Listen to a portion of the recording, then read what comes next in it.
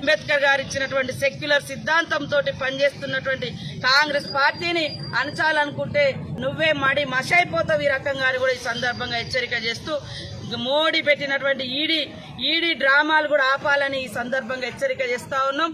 ప్రశ్నించే గొంతును నొక్కడం కోసం బీజేపీ ప్రభుత్వము ఈరోజు మరి సోనియా గాంధీ గారికి రాహుల్ గాంధీ గారికి నోటీసులు ఇచ్చి ఈడీ పేరుతోటి వేధింపులకు గురి చేసి అక్రమ కేసులు పెట్టాలన్నటువంటి కుట్రలో భాగంగానే ఈరోజు రెండు రోజులుగా రాహుల్ గాంధీ గారిని ఈడీ కార్యాలయానికి పిలిచి రకరకాల ప్రశ్నలు వేసి వేధిస్తా ఉన్నారు.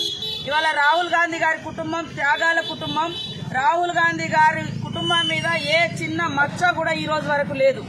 దేశానికి స్వతంత్రం తెచ్చడానికి ఏర్పాటు చేయబడ్డటువంటి పత్రిక హెరాల్డ్ పత్రిక. ఆ పత్రిక నడపడం కోసము రాహుల్ గాంధీ ప్రయత్నం చేస్తే దాని మీద కేసు పెట్టి ఆ పేరుతోటి ఇవాళ విచారణ పేరుతోటి ఈ స్వతంత్రానికి వ్యతిరేకంగా పనిచేసినటువంటి బీజేపీ. ఇవాళ స్వతంత్రం కోసం పోరాటం చేసినటువంటి గాంధీని చంపినటువంటి గాడ్సేల పార్టీ బీజేపీ పార్టీ. ఇవాళ నాకు స్వతంత్రం వద్దు అని బ్రిటిష్ అని బూటు నాకినటువంటి సర్కార్ సావర్కర్ పార్టీ బీజేపీ పార్టీ. ఇవాళ రాహుల్ గాంధీ గాంధీ వారసుడిగా ఈ దేశ ప్రజల ఆకాంక్షలకు అనుగుణంగా పోరాటం చేసినటువంటి కుటుంబం నుంచి వచ్చినటువంటి రాహుల్ గాంధీ గారి మీద తప్పుడు కేసులు పెట్టి ఇవాళ రాబోయే కాలంలో కాంగ్రెస్ అధికారంలోకి వస్తుందనే భయంతో ఈ రకంగా ప్రతిపక్షాల గొంతు నొక్కుతా ఉన్నారు. ఇలాంటి అణచివేతలు ఏ ప్రజా ఆగ్రహాన్ని ప్రజల పట్ల ప్రజలకు మీ పట్ల ఉన్నటువంటి వ్యతిరేకతను ఆపలేవని కూడా ఈ సందర్భంగా బీజేపీకి మోడీకి తెలియజేస్తా ఉన్నాం.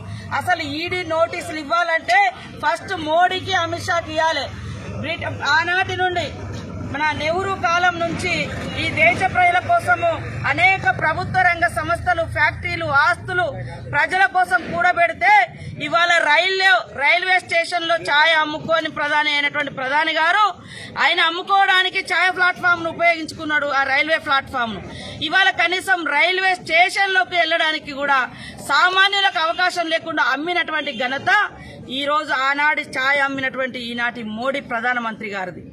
ఆ ఒక్క ప్లాట్ఫామ్ ఇచ్చింది కాంగ్రెస్ అయితే ఆ ప్లాట్ఫామ్లను కూడా అమ్మేసిరు కాబట్టి ఆదాని అంబానీ ప్రపంచంలో రిచెస్ట్ పర్సన్స్గా అవుతున్నారు వాళ్ళిద్దరు గుజరాతీలు మేమిద్దరం గుజరాతీలు. అమిత్ షా మోడీ ఆదాని అంబానీ. ఈ నలుగురు కలిసి దేశ సంపద అంతా కూడా ఆ ఇద్దరికి ఆదాని అంబానీలకు కట్టబెడుతున్నారు ఈ మోడీ అమిత్ షా. వీళ్ళకు నోటీసులు ఇవ్వాలి ఇవాళ ఎక్కడ భూములున్నా ఎక్కడ ప్రభుత్వ రంగ ఫ్యాక్టరీలు ఉన్న మొత్తం కార్పొరేట్ కంపెనీలకు దానిలో భాగంగానే ఇవాళ ఆంధ్రలో ఉన్నటువంటి ఉక్కు పరిశ్రమ గాని అదే విధంగా షిప్పింగ్ యార్డ్స్ గాని రైల్వేలు గాని విమానయానాలు గాని బిఎస్ఎన్ఎల్ లాంటివి గాని ఇన్సూరెన్స్ ఎల్ఐసి గాని మొత్తం ఇవన్నీ ప్రభుత్వము ప్రజల భాగస్వామ్యంతో ఆ రోజు నెహ్రూ గారి కాడ నుంచి స్థాపిస్తే ఈనాడు